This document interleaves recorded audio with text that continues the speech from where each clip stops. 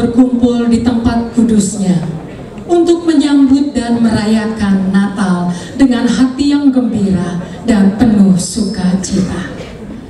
Natal bukan hanya sebuah perayaan belaka, melainkan waktu untuk mengingat makna sesungguhnya dari kedatangan Tuhan Yesus Kristus, pribadi yang membawa harapan bagi semua orang yang tidak memiliki harapan. Seandainya Kristus tidak datang,